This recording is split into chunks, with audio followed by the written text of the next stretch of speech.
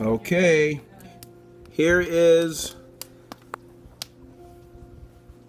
some of our newest additions. We actually bought this tank a couple days ago.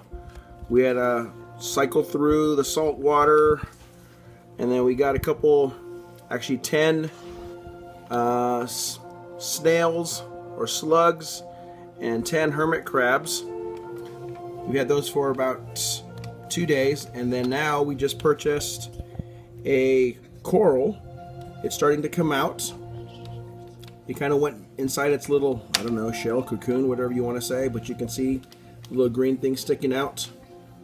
And now the girls are getting ready to set the first two fish free.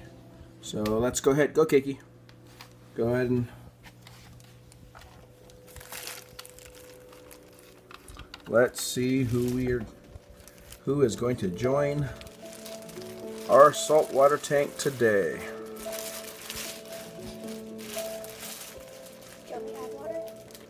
Just, yeah, just do it by how we do in the koi pond.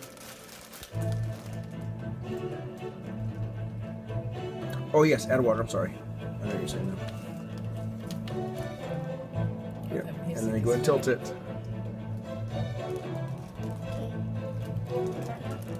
Yep.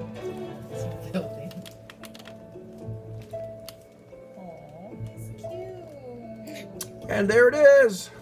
Who is that? That's Nemo. Oh, he look, he's finding a puka already. And now we have uh, sunburn.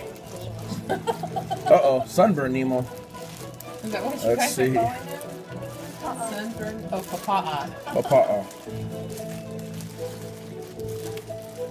Well, there's Nemo.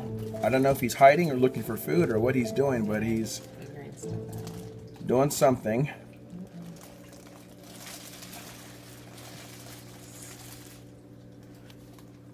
And then there is the coral. I forgot the name of the coral, but. And there is the other Nemo. They're calling him Papa'a Nemo. So those are our first two fish to the fish tank. Nemo and Papa'a Nemo. Ooh, look at all the cow cow that just went down on the bottom. We don't know if that if that'll be their actual names, but that's what we're calling them for now. I don't know what actual name is.